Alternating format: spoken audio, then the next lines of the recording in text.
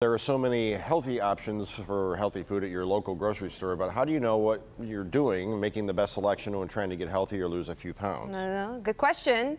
So it can be really confusing. So we enlisted the help of Dr. Ian Smith, author of The Clean 20, to show us how small changes can yield big healthy results when it comes to your waistline.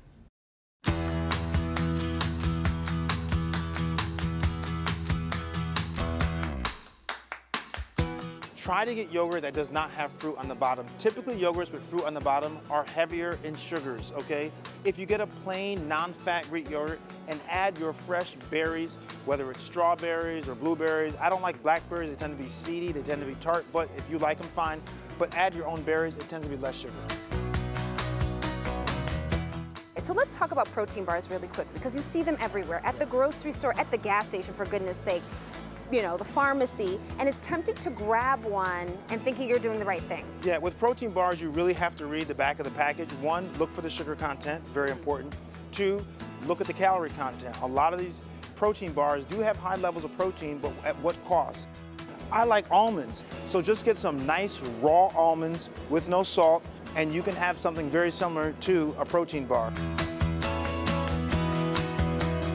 beverages. Yes. Again, you're always out and about. You might have a craving for something sweet or something along those lines. You and I am a coffee addict, which you already yes. know. Yes. It's tempting to always grab something that's pre-made. It's creamy, it's sweet, it's enjoyable. But you say we really need to stay away from these kind of. These liquids are diet busters. They are full of calories. They are full of sugar. They are full of artificial ingredients. Make your own smoothie. That can be helpful. So, for example, I always like to have bananas. Uh, you can have some organic milk, okay? Try your berry, blueberry, strawberry. I like blueberries because they're purple. I also like strawberries, I like that red. I like colored smoothies and some sliced apples.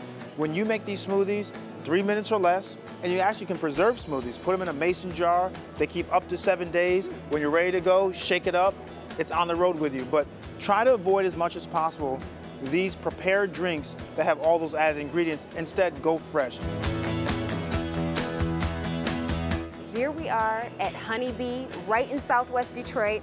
We're not at a fancy grocery store. I won't say any names. Right. we can get this at our local grocery stores. It won't break the bank, and we get everything we need to eat healthy. And that is the point of the Clean 20. Simple, affordable, and accessible. Boom, you got it. Perfect.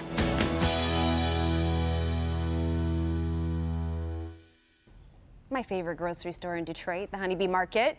You can try Dr. Ian's clean eating plan yourself. We are giving away two of his latest books, The Clean 20 and The Shred Diet. All right, for your chance to win, go to our Live in the D Facebook page or contest page. You click on Detroit.com where you will also find the contest rules.